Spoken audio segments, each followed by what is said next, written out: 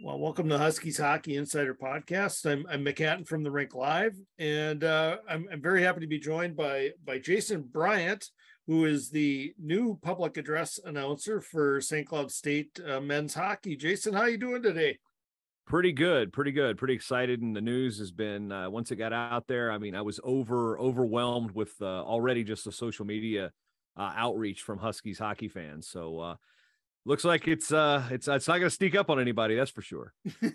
Yeah and I, I, think you're uh at jason m. Bryant i, I think is uh is your handle on twitter for for people that uh, maybe want to follow you there yeah, that's where I'm at. I'm there on Instagram. That's pretty much where I, I pretty much live on Twitter. Uh, if you're following me on Instagram, you're gonna get it's gonna be really disappointing because it's just pictures of of my kids and maybe my my affinity for for sneakers. That's basically what you're gonna get over on Instagram. Maybe some weird world travels because I do travel the world for wrestling. So uh, that you know, Twitter is where where where you'll get my uh, my thoughts pretty frequently. So that's uh, if you want a social media follow, that's where I'm at at Jason M Bryant. Awesome. Well, let's uh, let's talk about uh, how how this kind of all came about. Uh, you know, uh, Chuck Clausen had, had been the public address announcer for the last 32 years for for the Huskies, and, and decided to to retire after last season. He, he went into the season with with that in mind, and uh, he has done that. Uh, how how did uh, you find out? I guess about the opening, and, and what was the process? Uh, you know, to, to, to getting this gig. Yeah, it was kind of strange because I'm I'm not a stranger to St. Cloud State sports. So I, have been covering the sport of wrestling. Of course, the, if you read the press release, that's pretty much where most of my resume sits, at least in the last uh, 20 years. But I've been on the, on a microphone since I was 14 years old. I started doing high school baseball when I was a freshman in high school uh, back home in, in Virginia, and I have to clarify that that is the state that is not the iron range. So uh, when i moved to minnesota that's one thing i had to clarify you're from virginia? Oh iron range. No the state like the beach. So uh, yeah i've been been behind a mic since i was since i was a freshman in high school. I've always wanted to be in sports broadcasting sports journalism and i've pretty much done that. But I've been a PA announcer for for a very long time, broadcaster, journalist. So a lot of the stuff that you do on a day to day basis with with hockey, I've been doing with wrestling for a long time, and that started out of a dorm room at, at Old Dominion University where I where I went to college, and a radio show in, in Hampton, Virginia. But this position uh, opened up when it when it opened up, I wasn't aware of it right away. Uh, I was in a public address announcers Facebook group where people are, you know, talk about jobs. They talk about the industry. It's, you know, there's a little bit of a, hey, here's here's my my lineups from insert event here, or people looking for tips. And it's kind of a community of PA announcers. There's just your local level middle school little league announcer to there's professional PA announcers in there too. So hmm. uh, there there's and I saw it pop up, and it's like, you know, I I wasn't familiar with uh, with Chuck, to be honest with you, because I had oh, I, to my life I've only been to one collegiate hockey game, and that was when I lived in Colorado Springs, and that was uh, was those Gophers against Colorado College. So that was the extent of my in person college hockey experience. But I watched plenty of it on TV, which is a benefit of living in Minnesota. College hockey, even if you're not you know a hockey lifer, you can't miss it uh, here on TV, so that's a plus. But I saw it out there, and I I was just kind of thinking about it. I, I looked at looked at my I saw the schedule was out and I'm like, I'm looking at the dates. I'm like, you know what? Let me give it a shot. So Andrew Melro, the SID, I had actually worked with him when he was at University of Missouri as a wrestling contact. So it was a name uh, that I was familiar with. And I, I, went to the website, I saw the auditions page, uh, and I'm like, you know what? I'll just throw my name in there. And, you know, sent, you know, sent the, uh, the reads in, had some stuff from the NCAA because I've announced the last several NCAA championships at division one and division three. And I've also been the NAIA PA announcer for their championships. And, you know, I had the NCAA read. So the basic, there's a lot more to being a PA announcer than just you know, starting lineups and, and goal scoring in this case. But uh, a lot of reads had that stuff there, threw it out there, and I'd followed up with Andrew with an email going, "Hey, uh, kind of odd getting a hockey email from me because he was going to reach out and try to see uh, what what I could do as far as promoting the wrestling program because I've got a number of podcasts and such, and uh, St. Cloud State is a dominant force in Division two wrestling, and matter of fact, they actually hold the NCAA record across all divisions for most consecutive dual meet wins.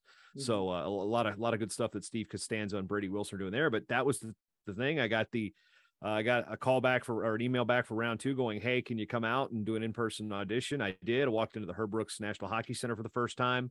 Uh, not the first time I'd seen the building. You know, I've been to Halenbeck Hall for wrestling events uh, a couple times in the past. I've got family that lives in, in Avon. My niece and nephew graduated from uh, from Albany, so I'm familiar with the area. It's about an hour from from where I live. So uh, walked in there and I was pretty impressed with the facilities right away. And was, it was kind of kind of daunting to be honest with you because it's been a long time since I worked in hockey and that was pretty much the pro- process. I, I, gave him a heads up about you know some scheduling things that may may arise, and uh, that was I was pretty transparent with that. And then I got the got the call back. I was actually picking up my kids uh, from camp, and I was in the car with my wife, and I had it plugged in, and I saw Andrew's number pop up on the you know got those the screen display and, and the we just bought a new car and I was like I looked at it and I was like that's St. Cloud State. My wife's like oh answer it answer it, and there was the offer and I'm like yeah we'll do it. So that's pretty much the short version of how it happened. That's actually probably the long version of how it happened too.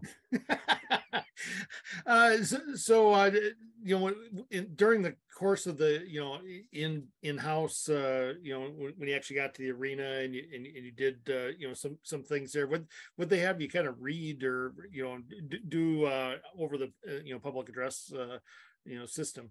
had a mock starting lineup, had some some typical game day operation stuff, you know, the the sponsor read, the starting lineup presented by, and then I think there was the uh, the Boys and Girls Club sponsorship read or what they do, the game promotions and things like that, which you know, as, as people as I mentioned to earlier, there's a lot more of that in PA announcing than there is, you know, the goals and the starting lineups. So those are things that that you get to do uh, constantly, and you just kind of make sure that you don't screw those up because those are the ones the sponsors are more worried about. You know, there's I do a lot of international wrestling, so the foreign names that is something I'm comfortable with. Doesn't mean you don't screw them up from time to time. You just mm. roll with me like, okay.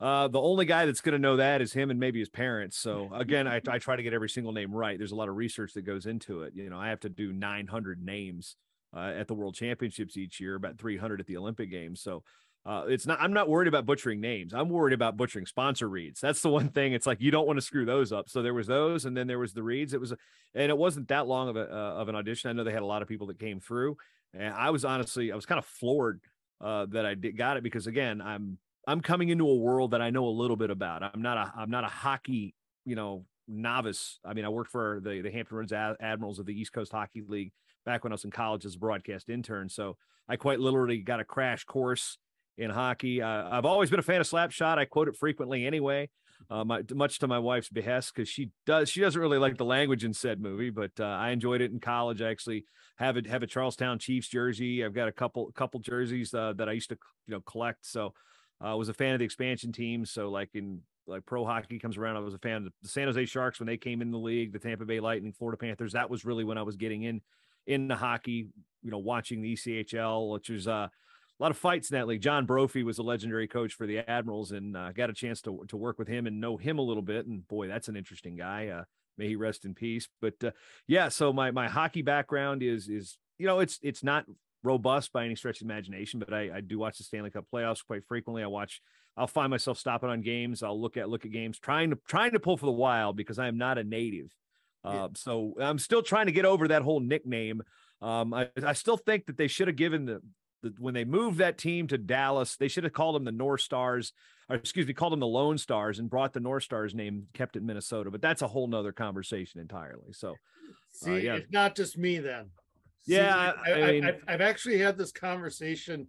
Uh, believe it or not, uh, Lou Nanne had a, had a book on the North Stars that uh, he he wrote, and I went and I, I, I saw him. He did a book signing up here in St. Cloud, this several years ago or whatever. And I I, I said to him, I, I said, you know, one of the one of the things, for, you know, for me, I, I appreciate that the NHL's back, but I said for a guy like me that grew up in, in this state. Uh, I said, I wish they would have kept the North Stars name. And, and he's like, I couldn't agree with you more. I mean, it, it's, and he, he went on to say that, uh, you know, that, that logo and the, and the name actually, uh, you know, up in Canada and actually in North America gets used more than, uh, you know, just about any anyone that's out there, um, which I thought was interesting. But uh, yeah, so I, I told him, I said, you know, I, am still a fan of the NHL. I'm glad the Wild are here, but I, I, said I think I'd be a bigger fan if they were the North Stars again. So anyway, that, there's my little. I, I'm getting onto I'm getting onto the off ramp there with you. That's that's that's I will go on tangents too. So you want to go at sports tangents? I'm all, I, I, do that. I mean, it's one of those like a squirrel, you know, one of those things. So, but uh, yeah, I mean the the the opportunity. One thing I, I liked about it, and I'm in talking to my wife about this. You know, my my passion really is in, in college and Olympic sports, and you know, seeing especially uh, hockey i feel like college hockey has a lot of similarities to college wrestling and that is really where i live a lot of my world is you've got it's it's not the most prolific sport in terms of its coverage. You fight for coverage when it's on TV. Everybody talks about it. You've got different streaming contracts and different streaming services to watch your favorite teams or watch the best games and such. And we we have that in wrestling. You also find a very passionate fan base and those fan bases typically like to battle on social media and on message boards so this is walking into to, to hockey twitter as I was, I was warned earlier today by some st cloud state faithful careful hockey twitters like i have a deal with wrestling twitter okay this is i'm, I'm ready for this so uh, but I just the passion with the fan bases is great. Uh, you know, I compare St. Cloud State hockey's fan base from just what I've seen. You know, just being you know an, an hour away, paying attention to it, knowing about uh, the unique, you know, the the unique structure of Division One college hockey. It, you know, it's a lot like the Iowa, Oklahoma State, Penn State battles on the message boards. I know that mm. uh, that team in Grand Forks and in, in the St. Cloud State schools, like uh, St. Cloud State, likes to like the like the jaw. So mm. I'm I'm well aware of this. So it, it really there's a lot of similarities. I was trying to make a joke yesterday that you know wrestlers are just you know, hockey players that sticks or something or something to that. I can't quite get that one down. I'll figure that one out soon. Maybe yes. maybe hockey players or, or, wrestlers wearing skates with sticks. I don't know, but it's uh, a lot of similarities with the mentality, what it takes to be a a, a hardworking uh, hockey player. The one difference is is there is a professional, you know, outlet for for pro hockey, whereas in in in wrestling, college is one of the top ones, and then you you've got a handful of people to get a chance to wrestle at the next level at the World Championships and the Olympics. So uh, a lot of a lot of niche sport kind of feel there, a lot of passionate, diehard fan base. So uh, the similarities in the fan bases is something that uh, that I'm actually really looking forward to because you know having worked in hockey a little bit and seeing you know some of the gritty minor league travel stories and these guys the journeymen that end up in you know the the bus leagues as they call them and then seeing the guys coming through juniors and then seeing just the pro level. I mean, my, my friends' kids are playing hockey up here, and it's like it's not something I grew up around as far as like the youth hockey level. So I really, you know, go to a tournament uh, or go somewhere in a hotel up in up in you know up in Brainerd or something like that, and there's hockey teams all staying in the hotels at tournaments and stuff. It's just it's like what I'm used to with wrestling. So uh, just you know, like I said, replace the singlet with some some pucks, some sticks, and some skates, and you know, I think the the level of Busch Light is probably comparable. So we're good there. and you mentioned uh, you know working in, in the ECHL. What uh, what all did you do? I guess in in, in your position, uh, you know, working for for the Admirals out there. So that was my first semester. Actually, started my first semester in college, and I remember seeing the app. There was a, a flyer. At, I was a communications major, and I'd already worked for a newspaper. I was working at a daily newspaper in high school, snagging phones. I was the guy that you would call the scores into, and then I eventually was a page designer, copy editor. I was I was basically the beat writer for high school wrestling. Did covered high school football. Basically, I was kind of a you know they put I was working the desk, but they would also send me out on assignments and such. But uh, when uh, the Admirals opportunity opened up, I talked to my advisor, and he kind of steer said kind of steered me away from it because they usually don't do internships for first semester freshmen. Well, I had called. It was Tom Grace was the the play by play guy at the time, and it was uh, I can't remember the radio station because they've changed the call letter so many different times. I think it was on 850 which then was WTAR, if I'm not mistaken. And I was a broadcast intern, so I sat next to him and and the Red Whistle, Pat Shetler, who was uh you know he was he refed in the NHL for a long time. I think he's still the the play by uh, the color commentator for the Admirals. And I sat there and I was basically sat between uh, Marie Booz, who was the main statistician, me, and then the broadcasters, and I'm beating stuff back and forth and uh, running the. We had to used to used to call tick uh, sports ticker to get the updates, getting the scores from the ECHL, running them down to the owner's box, which was right on the right on the glass. With uh, then it was a. Uh, Mark Garcia and Paige Johnson owed the team, and uh, Blake Cullen before and after. So, in that time, it was uh, it was a really exciting thing because I discovered hockey through uh, a neighbor down the street who, uh, you know, one of my next door neighbors, his uncle played for the old Hampton Gulls in the Southern Hockey League back in the mm. 70s. And I remember going home and turning on the TV and there was Sports Channel. And I think it was a, I think it was a Flames Jets game. And I'm like, hockey's on TV. And then shortly thereafter, I went to an Admirals game and, and saw, you know, and it was, it was old school, like not quite slap shot but uh, you know i got the experience of like okay fights are cool and then the game was so fast seeing it in person is so much different than seeing it on tv and so the opportunity to go went to the admirals games multiple times a buddy of mine had season tickets so that was about a 45 minute ride to get over to Norfolk from where I grew up. And so you get a chance to work with the team.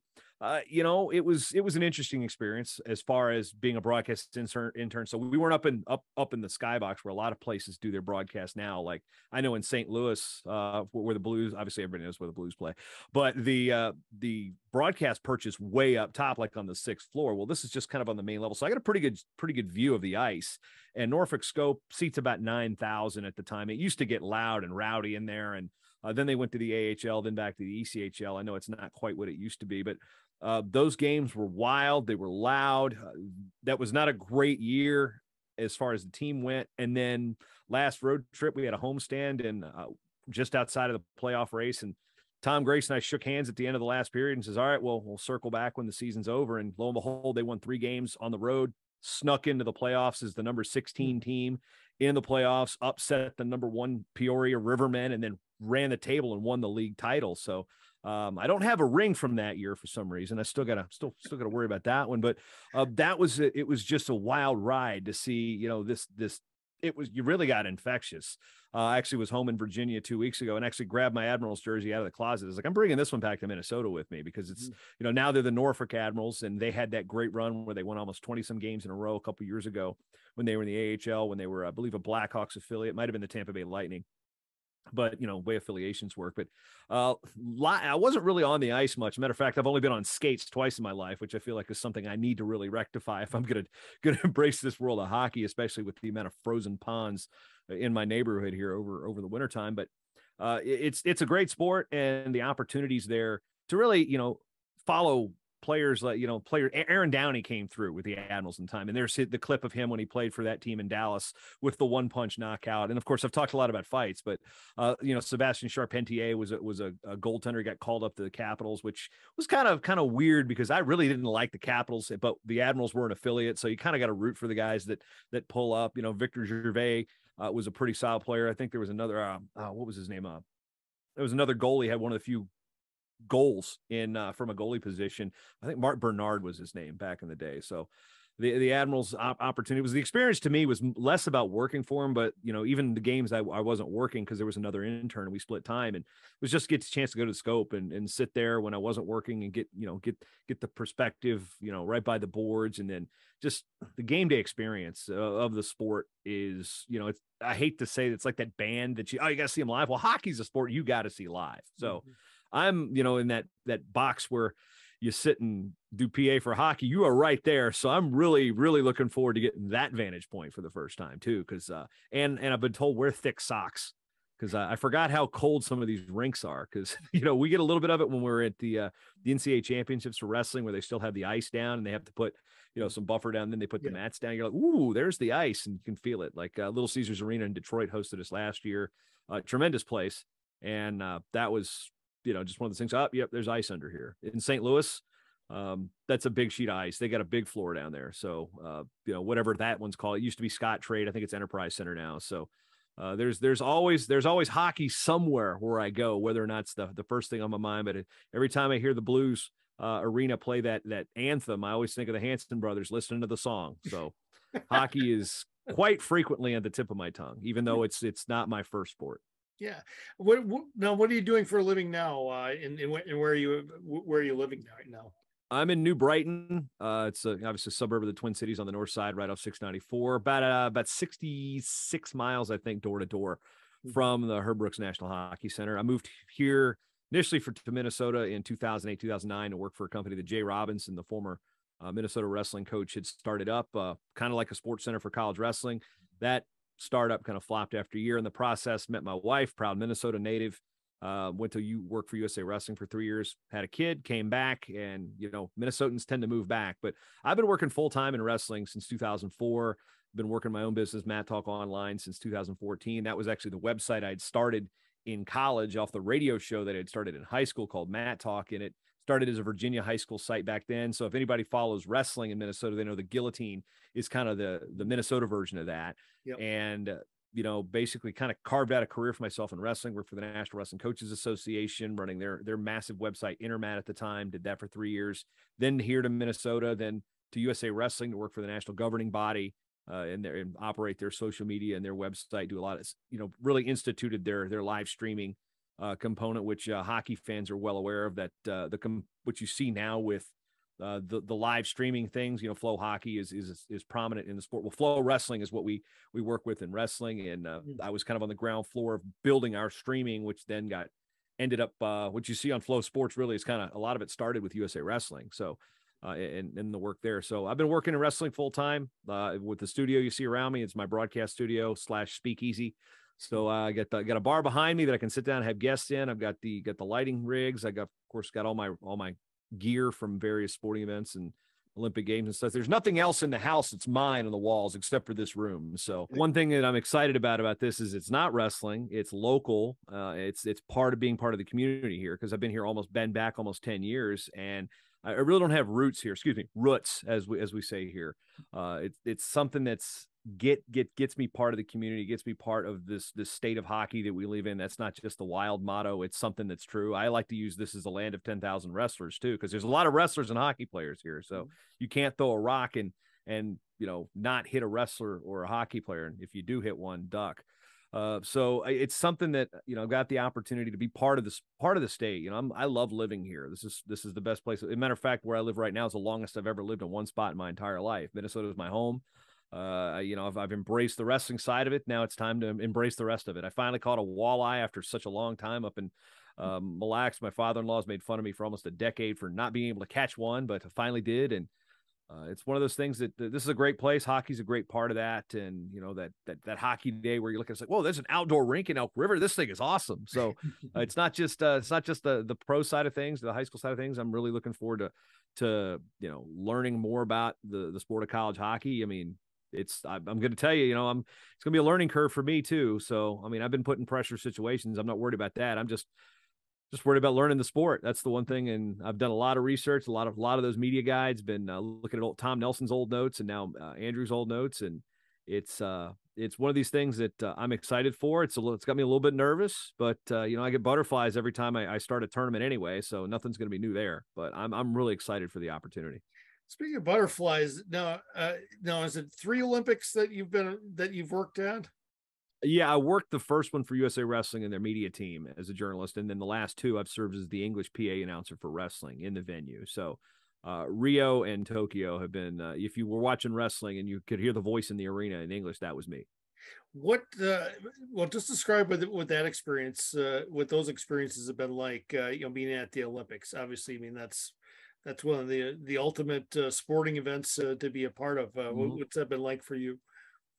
It's very regimented because it is not free flowing. Now, a couple mm-hmm. things you get to do when you do your, you know, in wrestling, I do the match commentary as it goes. So I'll, you know, usually there'll be multiple mats going on at a time. So you can go, you can bounce from mat to mat to mat, giving updates on what's going on. But everything that's red you know protocol is their favorite word. So if it's on the sh- it's got to be cleared and approved. So medal ceremony the wording is exactly right. You don't tweak or ad lib that or if you do you have to tell them well beforehand hey I, uh, during rehearsal hey i need to we need to change this and they have to check to see if they're allowed to do it with protocol.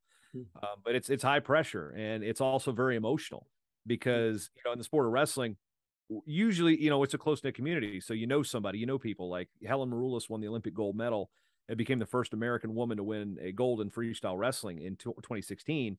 And I'd known her since she was 16 years old, and she's stepping up to the, the top of the podium. And you're about to say, ladies and gentlemen, please rise for the national anthem of the United States of America. And I'm holding back tears because it is just a powerful moment. What's going on right now is history. Mm-hmm. So there's there's there's that part of it, the pressure part of it. And there's a part of, you know, you this is one thing, you say the wrong thing, you say the wrong country in the wrong way bye. You're done. Like they sit you down. You are not you, you, thank you. Have a nice day. You know it's it's it's a lot of pressure in that regard. Tokyo was a little different because uh, it was a lot more laid back but there was also really no fans there. The only people in the buildings were the training partners and the teams there because they were still with the covid stuff. So that was a little bit more free flowing but at the same point it was you didn't get that full crowd experience. So one thing i am looking forward to to paris should i get paris? I did work the 2017 worlds in paris and the people that ran their world championships there that year were amazing. So I'm looking forward to getting that opportunity. We're two years out, but uh, there it is a pressure cooker because it's you know it is make sure you get it right. You know it's do you know? But again, my wife kind of told me right before I announced my first world championships, we're going to the airport, and I'm just like kind of you know, you know, I'm finally getting this type of opportunity. She's like, "What are you worried about?" She goes, "Screwing up." Because no, no, no, do your best, and that's the one thing I, you know, I'm gonna have to. I, I try to do everywhere. Is that you know, mistakes are gonna happen. Just depends on how many people hear it. you know, how many people, uh, you know, bust your chops about it. But ultimately, just do your best, and that's the one thing I'm going to try to bring to to this job, just like I do every single time when when the NCAA championships are out there, the World Championships, the Olympics. I tell you know, in in the opportunity that I announce three different levels of college wrestling the kid that wins the NAIA championship at 125 pounds is going to get the exact same response, the exact same call as the kid who wins 125 pounds at the Division One national championships in front of 18,000 people. The, the, championship experience is what I'm trying to bring for wrestling. So, mm-hmm. uh, you know, and for for people that are curious on what's going to happen, I know uh, the woo thing, you know, that's one one of the first questions I got, and I I, I kind of looked up some stuff about about Chuck and and you know, 32 years, man. That's it's kind of hard to just come in and you know, I'm not here to just do what Chuck did because what he did is there is, is a local guy, is a passionate guy. He made it his craft, his his passion, and I have to learn that. And it's that's not going to happen over, uh, you know, one day. It's not going to happen over 32 minutes. It may not happen over 32 games. It's something I'm going to have to grow with in this this position. I'm going to have to grow with the the program and the university. So it's something I'm looking forward to. And, you know, like I said, I'm going to go out there and I'm going to do my best, just like I do with the Olympics, just like I do with the NCAA championships or, or the dual meet between Augsburg and Wartburg, the Battle of the Bergs, or wherever I get called into to, to announce at Madison Square Garden or Hulu Theater. I mean, I've been in some big venues, I've been in some pressure cooker situations, but I'm going into a world that uh, I, I'm, I'm, I, I'm an outsider, but I'm trying not, I'm, I don't want to be but uh, you know, I guess a little grace, a little bit of a little bit of hey, you know, I mean, I'm not I'm not asking for for for forgiveness before I even start. But it's something that's it's going through my mind, is how to how to make this my own. But also, uh, it's it's probably going to take me a little bit to figure out where my groove is with hockey in terms of how how we're calling the game experience and how it w- works with with the game day operations and such. So, uh, you know, the Woo was uniquely Chuck's. My friend John Peterson, who did uh, broadcasting for uh, St. Cloud State Wrestling for a number of years, kind of told me since they've had a guy up there that's has is beloved and uh, you know it's it's it's kind of hard following that. It's like you know whoever followed dean smith coaching at north carolina basketball is you know you're you're constantly going to be compared to dean smith. I get that. I'm you know i'm ready for that but um, i'm looking forward to try to try to get a hold of chuck and, and kind of you know pick his ear a little bit. I haven't had a chance to do that yet but it's on my to-do list and i'm just curious on what knowledge i can i can glean from him and and you know something uh, you know there's there's things that I've done with uh, that that I kind of pay homage to other announcers in the wrestling world. Uh, whether or not I, I do that with with Chuck, I don't know yet because again, I never heard him in, in a game day opera uh, game day situation. So I know that uh, you know he laid the groundwork for everybody's going to come after him because you know there's going to be somebody that's going to come after me. There's somebody going to come after me. Them. There's going to be it's it's going to be a line because hockey's not going anywhere from St. Cloud State. It is it is a great sport. It's put this school on the map. I mean, it's a national brand when it comes to this thing.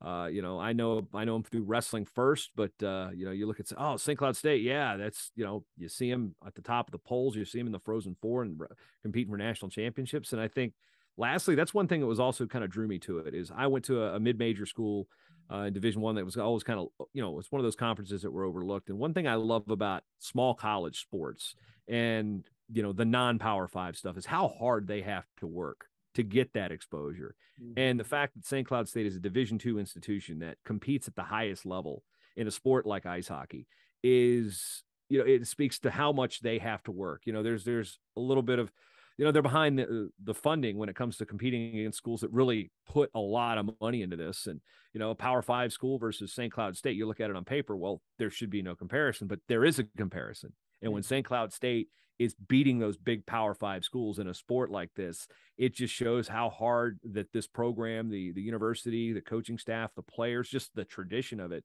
that exists there works. And that's something that really drew me to it as well is you know working hard and you know being the little guy that's not the little guy. They're the big dog no pun intended. You're uh you were mentioning uh you you've got kids uh are, are they involved in sports then? Uh what, what, what you know how old are they Got uh, a fifth grader and a first grader, so a ten year old and a six year old. They're the, the, closest thing they're involved to in sports right now is their middle names or Olympic cities. So uh, Lucy is born in 2012. Her middle name is London. Ruby was born in 2016. Her Her middle name is Rio. Uh, we're, my wife was a college softball player at Bethel here in the cities, so uh, getting them into sports is is a it's a slower process. We're waiting to see what they get interested in first. I know that, that they've played a little bit of soccer, just you know, because there's the kids and their friends and their classes play it. But uh, I'm not a soccer guy, even though I'm going to a Minnesota United game for the first time this coming weekend. Go figure.